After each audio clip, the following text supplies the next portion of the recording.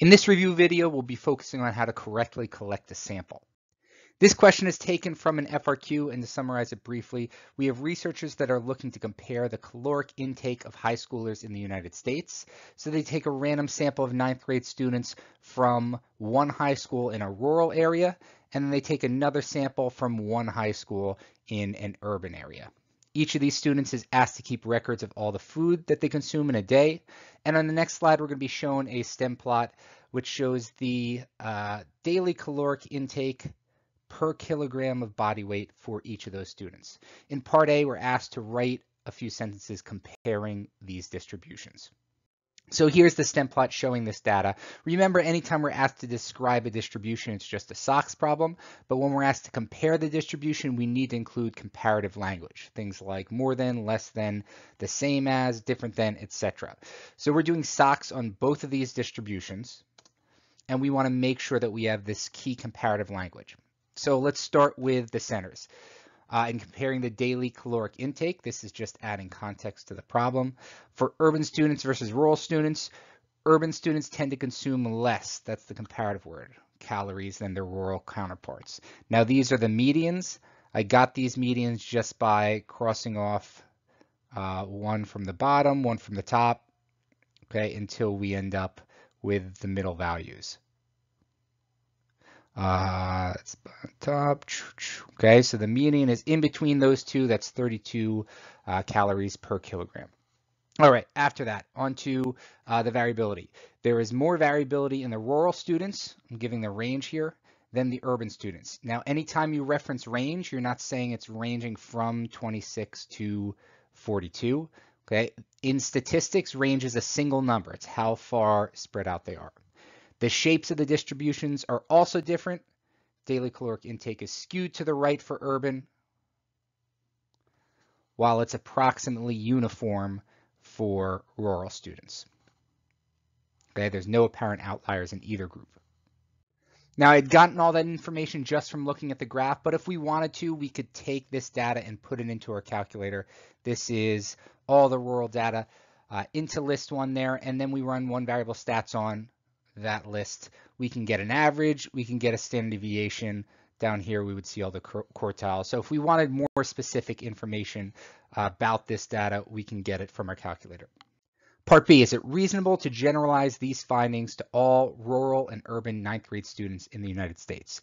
When you're asked a question like this about generalizing our results, it's asking you, is it okay to take what we found in these samples and apply it to the whole broad population of ninth grade rural and urban students in the United States. First thing to check is was this uh, sample collected randomly? If there was no randomization, it's not valid. This did have randomization, but the key thing, here's the text of the problem. It says that we have a random sample of ninth grade students from one high school in that rural area, and then we have another sample from one high school in an urban area. Okay, so the population is not all students in the United States, it's specific to these high schools and only these high schools. We can't generalize our sample uh, beyond what we're drawing, what population we're drawing from. So our answer here, no, we can't generalize this. The random samples were taken from a single rural high school and a single urban high school. We can generalize to those populations only, meaning that these findings would apply to all the students in each of those two high schools. Part C, we have researchers who want to conduct a similar study. They're looking at two different plans.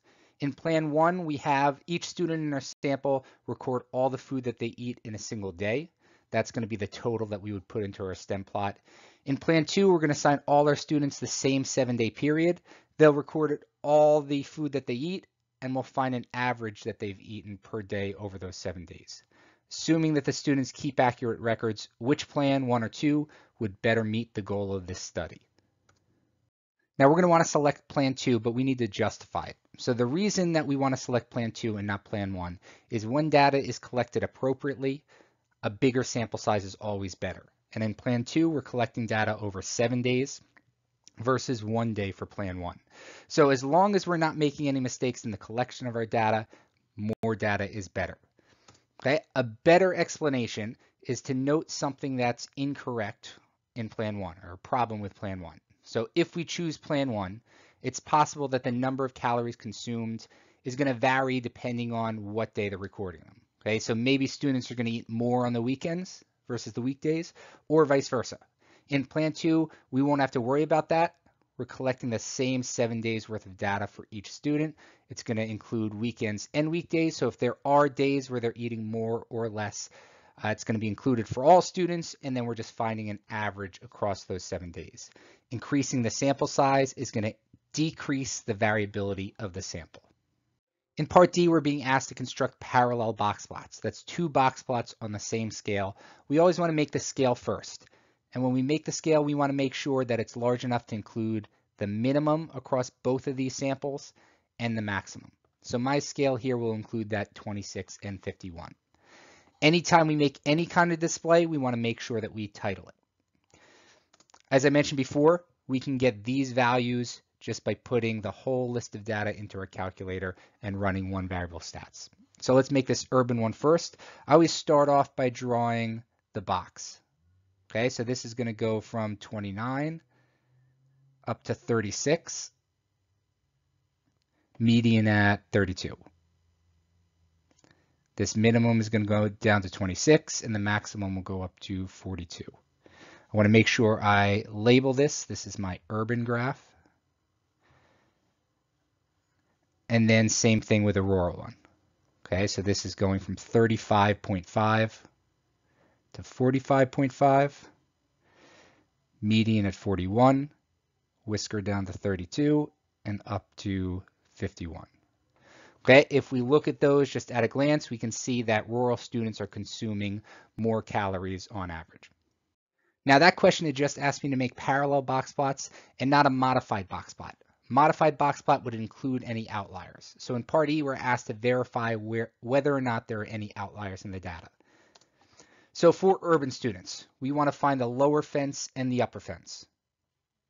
Lower fence we find by Q1, quartile 1, minus 1.5 times the IQR.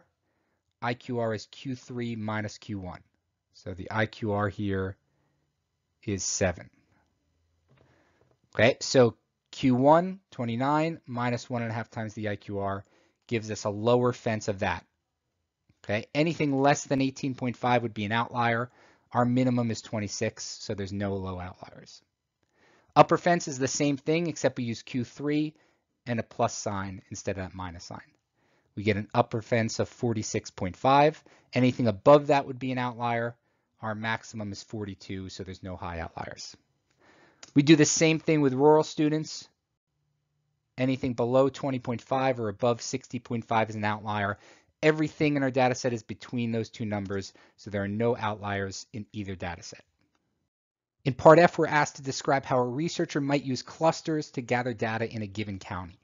As a reminder, when we're dealing with a cluster sample, we select one group or sometimes multiple groups, and we perform a census on that group. If the group is representative of the population as a whole, it's quicker and it's cheaper to conduct a cluster sample compared to something like a simple random sample. So for this problem, the researcher could select randomly one urban school and one rural school. Make sure you include randomly here because randomization is a key part to any sampling plan. If the daily caloric intake of the students at a single school is representative of all similar urban or rural schools, conducting a, cluster sample is a quicker, cheaper way to gather data on a large number of students. Next up, a researcher observes that rural students eat more home-cooked meals than urban students, and a journalist writes an article stating that home-cooked meals cause an increase in calorie intake. Describe a confounding variable that may be the cause of this. Anytime you see this word, okay, saying that something causes the other one, remember we can only come to that conclusion when we have a randomized experiment meaning that we would have to assign students whether or not they're going to eat a home cooked meal. That's not the case here. There's, it's possible that there's some other variable at play. Okay, so a confounding variable is a variable that affects a response variable. That's the caloric intake. Uh, in a way that makes it impossible to attribute any observed difference to the explanatory variable, which is home cooked meals. So for this problem, Perhaps rural students burn more calories than urban students and therefore need to eat larger meals to replenish them. If this situation is true. It wouldn't be clear whether, whether any differences in those mean calories consumed is due to the home cooked meals or the fact that these rural students are expending more calories in a given day. Maybe they have to walk a farther distance to their bus stop, for example. If you were given a list of all students at your school, explain how you would randomly select 50 of them for a sample. Anytime you're asked a question like this, I want you to do it this way. So to start, number the students from one to however many there are. We don't know in this case. Note that you are not numbering the students randomly. You're numbering them sequentially. Part two, use a random number generator to randomly generate numbers in the appropriate range. We're going to ignore any repeats, and we're going to continue that until we have the required sample size. And lastly, select the students with that corresponding number. So we would number the students from one to however many there are on our list, use a random number generator to generate 50 numbers in that range, ignoring any repeat selections. Sample the students on the list with those corresponding numbers. Part I, describe a variable that might be important to create a strata and why we chose that variable. So for this problem, a good thing to stratify on would be gender. And a refresher on why we stratify, we're going to stratify to create groups of similar subjects. We're going to group all the males together, all the females together. We have groups uh, that are similar based on their gender. At this point, we would randomly sample within those two groups. Okay, the reason we stratify is because we expect those groups to produce different results. We probably would think that males would eat more than females will, and the purpose is to reduce variability in the sample. If we were to take a second sample, our results would be more similar with the first on average with stratification than without stratification. So our answer would be, it's reasonable to expect that males and females have a different mean daily caloric intake.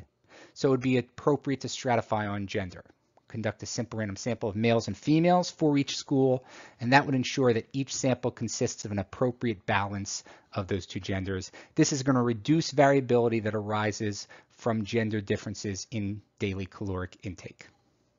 Lastly, what inference procedure would you use to compare the two groups? This is a name the test problem. So the steps to figure out what test you would use. Okay, first we want to figure out is the data categorical, meaning it would be a z-test, or quantitative, which would lead us to doing a t-test. In this case, we're finding the number of calories, that's quantitative. Okay, it's numerical data. How many samples are there? It's always either one or two. In this case, we have two samples, one from an urban area, one from a rural area. And third thing we want to ask ourselves is in this situation where we have two samples on a quantitative data set, are the samples independent or are they paired in some way? If they're independent, it would just be a two sample t-test. If they're paired, we would do a match pairs t-test. So here we have two quantitative samples of randomly selected students from two separate high schools. The data is not paired in any way, and the random, random selection is going to make these uh, results independent of one another. So we're going to conduct a two sample t-test.